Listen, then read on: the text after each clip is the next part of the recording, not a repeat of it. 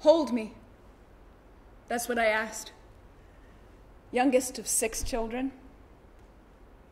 Never held.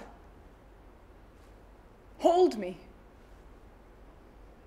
The abuse was neglect, and the yelling and the fighting. A Christian family. I can remember hiding from the abuse, the yelling, the fighting. Tears always stained my cheeks. Know what tear stains look like?